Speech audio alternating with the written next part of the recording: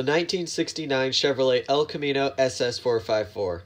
It has gone through many RQ changes in the game since being added from the very beginning. But is it finally the car's turn to return to the rare rarity, or will it still stay as super rare but not perform as well?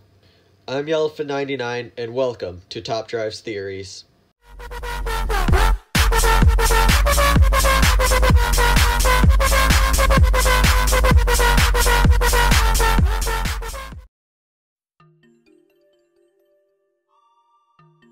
The intro is pretty cool, right?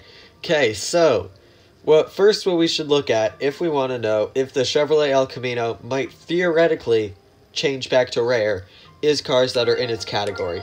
So, the Chevrolet El Camino is a American drag car that has a strong 0 to 60, high top speed, and low MRA, and very low handling. From 1969, and it has medium ground clearance, weighs about in the middle of like generically where cars weigh. It's not heavy, but it's also not really light.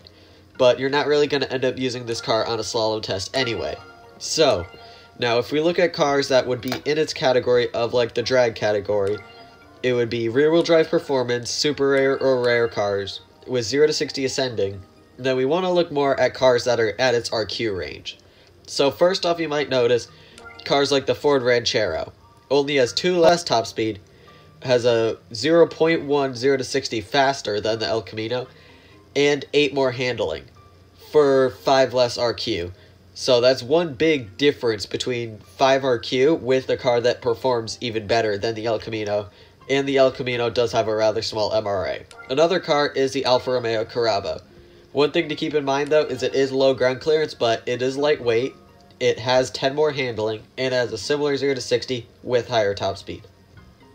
Plus other cars in its American category, like the Chevrolet Corvette ZR2, which is a car with 4.9 0 to 60, which is 0.1 less than the El Camino, 72 handling, which is a lot more than the El Camino has, and higher top speed, with a pretty sure a bit larger MRA.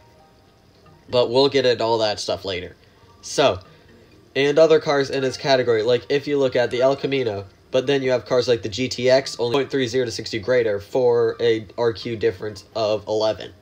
So, lots of lower RQ cars that have similar or better stats than the El Camino. Like the AMC, AMC AMX3, another car that has similar stats to the El Camino, but with just greater stats like in other aspects. So, should the El Camino really stay rare? I, I don't believe it should.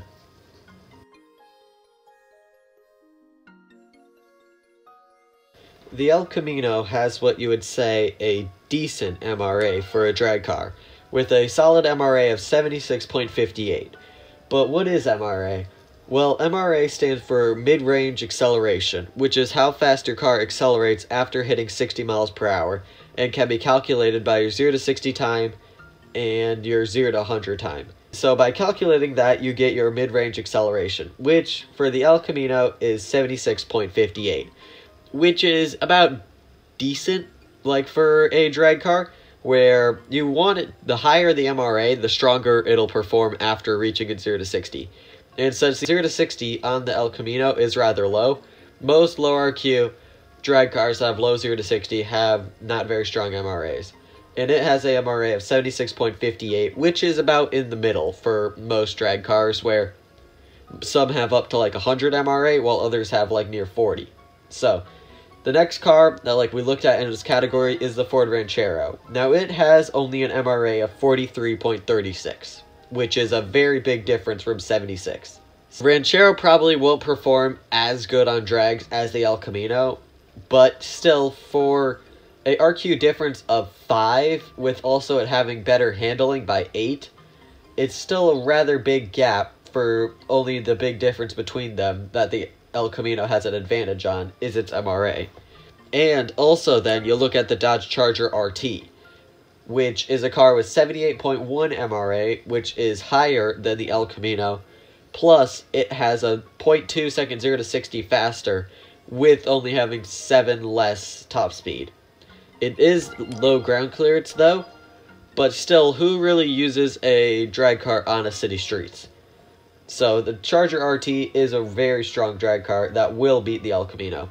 Now, we also have cars like the Carabo, which we talked about, which has an MRA of 53.22, which isn't very good, but still, it has handling that's its strength, and it also has a higher top speed for 2 less RQ.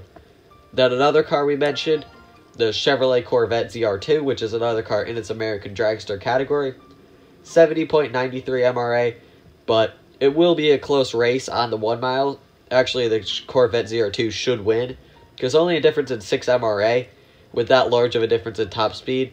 The win will probably go to the ZR2 because it has a 0.1 second 0 to 60 faster and also it having a larger top speed difference.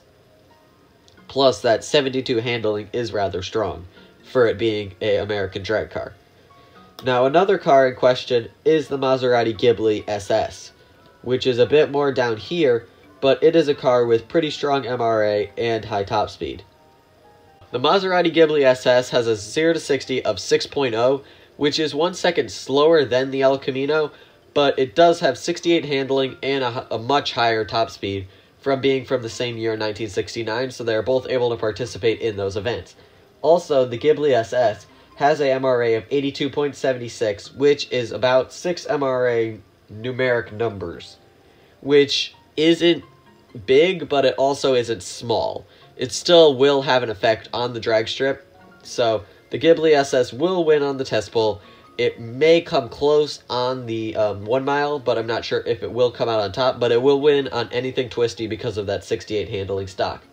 And the other car that is a big one is the, the Lamborghini Miura Roadster, which is a car with 6.70 to 60 stock, which is 1.7 slower than the uh, El Camino, but with much higher top speed and 70 handling stock, with an MRA of 99.3, which is about 23 MRA numeric numbers over the El Camino, which is a very large difference when it comes to long drag races.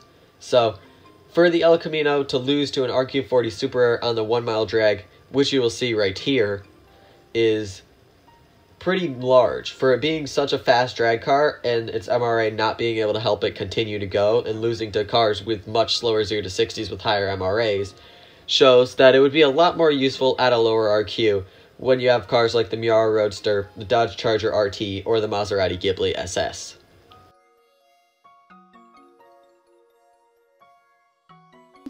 Now, one of the reasons why people may think that the Chevrolet El Camino should stay super is because of its medium ground clearance. But recently, with the new update, it threw this car threw a complete wrench in the middle of that argument because the Ford Ranchero. Now, it will beat the Chevrolet El Camino on city streets small and city streets medium, without a doubt, just because of how much higher its handling is, with having medium ground clearance as well as the El Camino. So they both have medium ground clearance. The Ranchero has stronger handling and a better 0 to 60. So there isn't really an area where the El Camino is good anymore. Because American drag race events, you're just going to use the Corvette ZR2. Any test bowl, you're just going to use the Ghibli or the Miura. Any one mile, you'll just use the Miura Roadster. Any quarter mile or half mile, you'll just use the Charger RT all of which are cars that are at similar RQs that all perform better than the Chevrolet El Camino. So the El Camino doesn't really have an area that it shines in anymore. Because maybe the medium part would like help it in case it's like all drag races and then there'll be like a random medium every once in a while where you'd have to use something like that, but then you just use the Ford Ranchero, which will beat it everywhere. So really, the El Camino doesn't have an area that shines in anymore.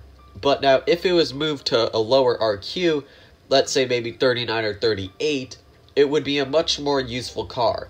It still wouldn't really have an area where it would shine in, but it would perform a lot better and be used much more, just because it would be a much lower RQ.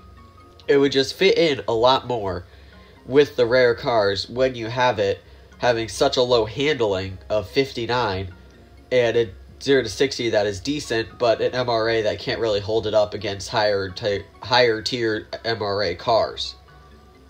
The El Camino just will be left behind, and as it stays super rare, it doesn't find very much use anymore.